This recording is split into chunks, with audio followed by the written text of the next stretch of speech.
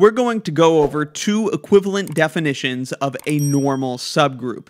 Then we'll see an example, then a non-example, and then we'll finish off with a quick proof of a basic result concerning normal subgroups. In later lessons, we'll see that normal subgroups are extremely important, but for now, let's just focus on making sure we understand what a normal subgroup is. Let H be a subgroup of a group G. Then H is called a normal subgroup of G, and we may write that like this using a symbol that's like the less than or equal to symbol, but with a triangle instead of a less than. We may write H as a normal subgroup of G like that if H is closed with respect to conjugates. The conjugate of an element A is any element of the form x, a, x inverse, where the x and the x inverse can come from the containing group G. They don't have to come from the subgroup H. So for H to be closed with respect to conjugates means that any element A of H has all of its conjugates also contained in H. Again, if we take an element A from our subgroup H, then for any element X from the containing group G, X A X inverse is a conjugate of the element A. And it must be the case that all conjugates of all elements of H are also in H for H to be a normal subgroup. Let's unwind this definition for a moment just to see all the restrictions on a normal subgroup. A normal subgroup of a group G is going to be a non-empty subset of G that is closed with respect to three things, products, inverses, and conjugates. Being closed with respect to products and inverses is what makes it a subgroup, and then the additional restriction of being closed with respect to conjugates is what will make it a normal subgroup. And here's an equivalent definition, which at a glance probably looks a little bit nicer. Some textbooks will use this as the standard definition.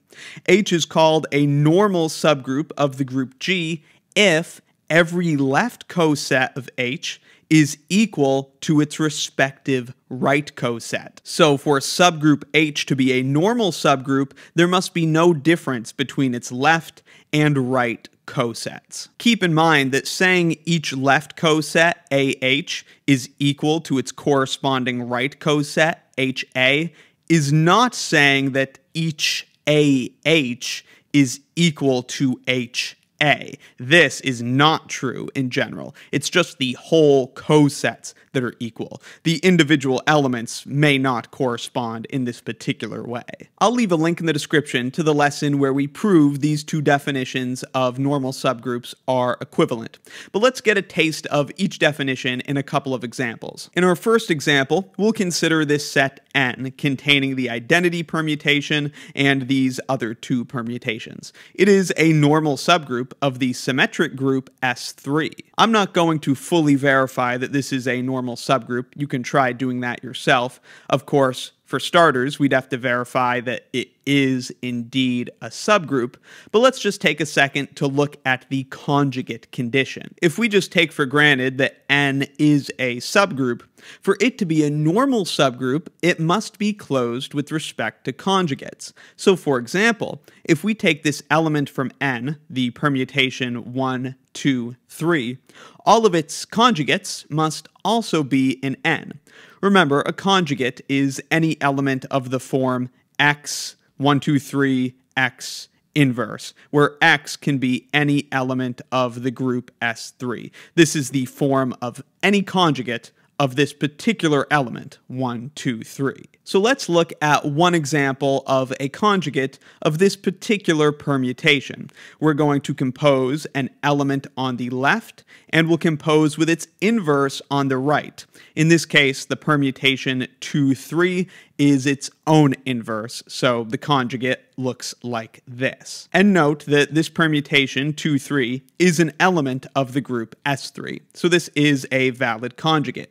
And if we go through this composition of permutations from right to left, it's equal to this permutation, which is an element of n, as we expected. You can see how this composition of permutations maps 2 to 3, but then maps 3 to 1. And so in total, 2 gets mapped to 1.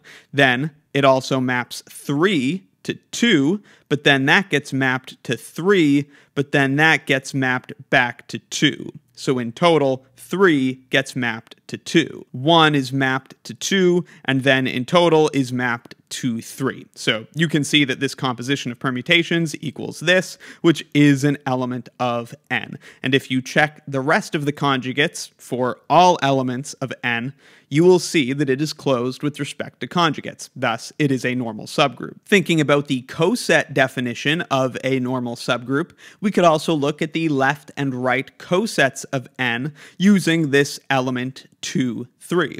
And those look like this, and as we would expect, they are indeed equal. Looking at the left coset first, 2, 3 composed with the identity is just 2, 3. 2, 3 composed with 1, 2, 3 is 1, 3. 2, 3 composed with 1, 3, 2 is 1, 2.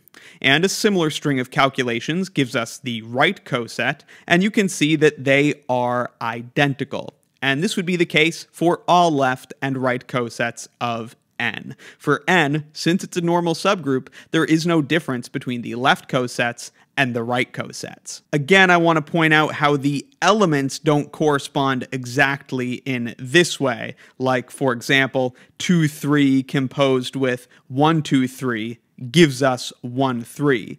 However, 1, 2, 3 composed with 2, 3 gives us 1, 2. In total, the sets are the same, though the elements don't all come about in the same way. It's each coset AH that equals HA, not necessarily each element AH equaling HA. Now we can look at a similar non-example. This set H is a subgroup of the symmetric group S3. It contains the identity and the permutation 1, 2, which is its own inverse. But if we start by looking at a conjugate of 1, 2, here is an example of a conjugate of the element 1, 2, this is equal to 1, 3. And this permutation is not an element of H. H is not closed with respect to conjugates. It's not a normal subgroup. In the example that we did, I just showed you one example of a conjugate being in N, which was just to show you how you would go about verifying for sure that N is a normal subgroup. This alone wasn't actually proof that N is a normal subgroup. But of course, in this case, one counterexample of showing a conjugate that does not appear in H is sufficient to verify that H is not a normal subgroup. The left and right cosets here are also different. If we look at the coset 2, 3, H, this left coset, it contains these elements, whereas the right coset, H23, contains these elements, and you can see that they differ. So again, it's not a normal subgroup by either definition. All right, let's do a quick proof just to get some practice with the definition of a normal subgroup. There is a special type of group whose subgroups are all normal subgroups we're talking about abelian groups. If H is a subgroup of an abelian group G, then H is a normal subgroup of G. All subgroups of an abelian group are normal subgroups. The proof is really easy. To prove H is a normal subgroup, we take an arbitrary element from H and an arbitrary element from G, and we want to show that the conjugate of A with this element X is an element of H. That's pretty easy to do. The conjugate is XA X inverse, but because this is all from an abelian group, that is equal to x x inverse a, because abelian groups are commutative.